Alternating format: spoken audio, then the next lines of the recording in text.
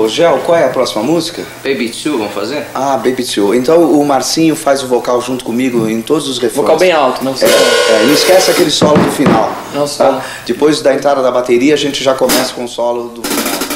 Então vai, Gel, começa na bateria, Gel. Olhos com magia, e o meu corpo toma flutuar. Mil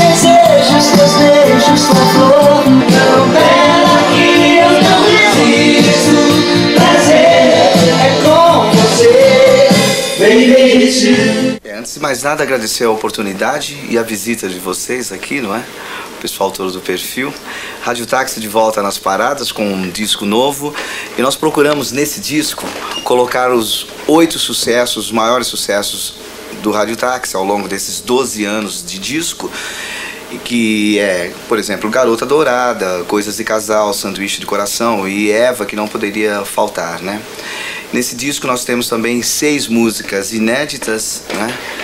Que nós contamos com a participação de amigos, como por exemplo o J. Rezende, o Álvaro, quem mais já mesmo? Meu irmão. O seu irmão, Fernandinho, grande Fernandinho. E o Marcinho, que é o mais recente integrante, o mais novo integrante. E é novo de tudo, né, Marcinho? Bem mais que vocês. Né? a Rádio Táxi já está há seis anos.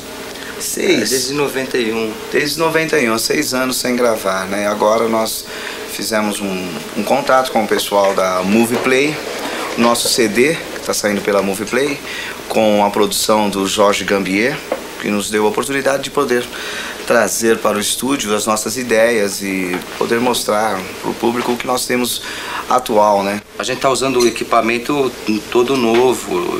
Tem muita coisa que a gente usou agora, inclusive nessas músicas que a gente regravou, que a gente não, não é uma cópia, entendeu? A gente procurou manter as músicas do jeito que elas são, mas sempre uma coisinha diferente. Tem, o, o equipamento também é outro, tá bem mais legal. Não adianta a gente ficar mudando conforme o, o, Tá todo mundo mudando, a gente vai ficar mudando, que a gente vai ficar sem identidade também. A gente faz o que a gente sente. É o pop, né? Comercial é. que a gente gosta. É, nós procuramos colocar é, sem coisas novas, sem mudar a identidade do Rádio Táxi, entende? mercado de música é, no não Brasil. Tá pra peixe. não tá pra peixe.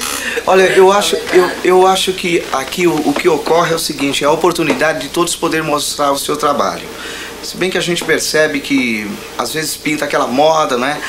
Uh, mas eu acho que tem, eles estão abrindo assim a oportunidade de tem muita gente nova pintando aí, não é? Eu o que a gente que sente aqui no Brasil é é que pinta a moda e fecha as portas para qualquer outra coisa e fica só naquela de incutir na, na cabeça das pessoas um, a moda, né? Então fecha para todo mundo, quem faz o pop fecha, quem está fazendo outro barato fecha, fecha e fica só aquela moda.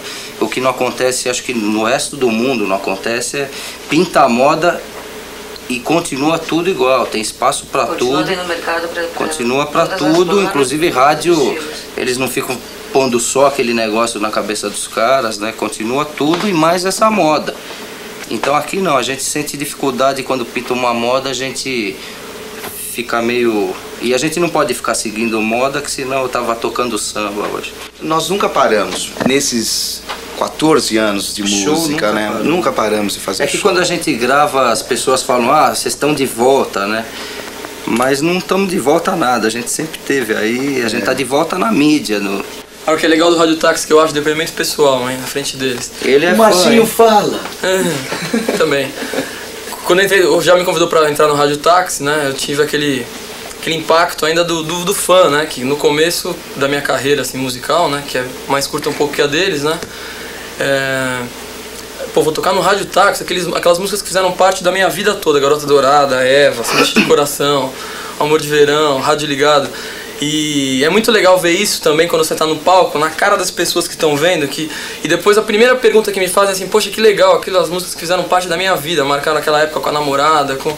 Então é muito legal tocar com eles aí. Gelzão, William. Inclusive no último show ele ficou olhando pra mim e parou de tocar.